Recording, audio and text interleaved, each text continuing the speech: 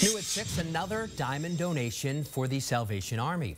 An anonymous donor dropped this diamond-encrusted cross into a red kettle. And it's the second time this year that someone has dropped expensive jewelry into a kettle. As Lauren Leamanczyk shows us, this new donation came from a woman who built a new life for herself and her family in Boston. Clothes this diamond cross which is symbolic of Christmas. Captain Myron Smith was doing his nightly count from the kettle when he came across this a cross wrapped in a letter. Stopped me in my tracks. The gift dropped anonymously outside the stop and shop in Brookline.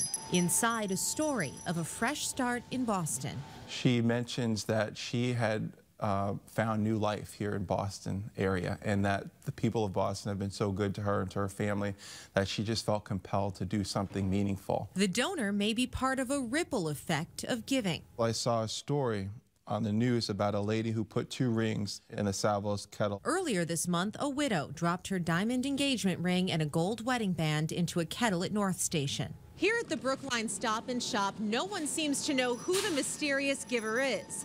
But more than a few people said his or her generosity inspired them. I'm definitely going to be putting a dollar in today. I'll tell you that. I'm just so happy that she was so felt so welcomed here.